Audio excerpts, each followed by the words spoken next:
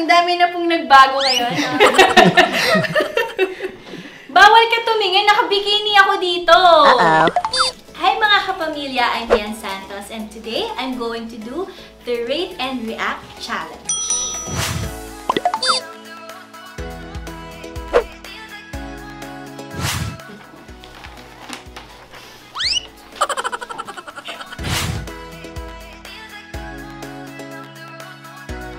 Boracay!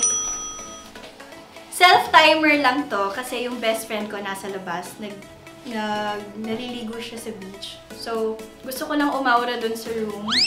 Walang magpipicture sa akin. So, self-timer lang siya. um, ito na lang. okay. Ito yung first time ko sa Amanpulo. Parang iba Parang ang dami na pong nagbago ngayon. Ah, five years ago na yata ito. Sana ganyan na ulit ako kapayat. So, dapat ito siya.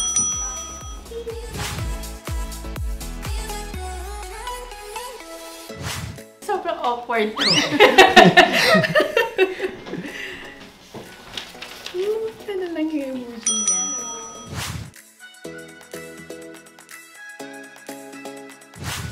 Ito ulit sa...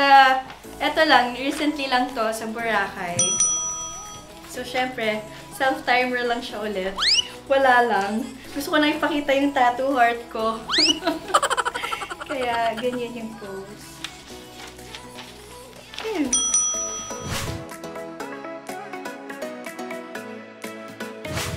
Ay, puro sa...